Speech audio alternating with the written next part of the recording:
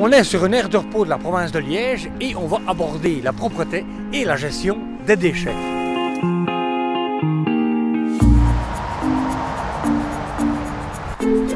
Ah, excusez-moi madame, madame, excusez-moi. Oui. Vous avez perdu ceci. Alors monsieur, je, je vois que vous êtes fumeur. Oui. Voilà. hein. Et qu'allez-vous faire avec vos cigarettes une fois qu'elle est terminée Malheureusement, comme il n'y a pas de cendrier, un peu comme tout le monde, l'acheter à terre. C'est parfait. hein, Vous savez que Malheureusement. vous risquez une amende avec ça. hein? Oui. Non, non, vous devez la jeter dans la poubelle noire, mais en, en écrasant bien d'abord. On vous suit, hein À la Pas trace, de hein problème. Vous pouvez me filmer. Fumer. On va vous fumer. Filmer Ah, bon, bah. Non, non, non. pas quoi. Non Habituellement, je le mets à la poubelle. D'accord. Écoutez, j'ai encore mieux que la poubelle. Regardez ce que je peux vous offrir. Regardez, c'est une petite pochette. C'est un cendrier de poche. Vous mettez votre, votre cigarette dedans, même allumée, hein. Et ça va. Regardez. Même allumé Même allumée, elle va s'éteindre tout seul. Regardez. Bim. Et voilà. Ça vous évitera d'avoir une amende de 100 euros. hein. Merci. Voilà.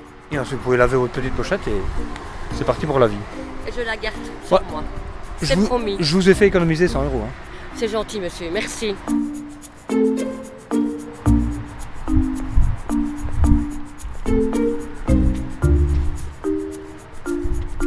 Encore une qui veut perdre 100 euros.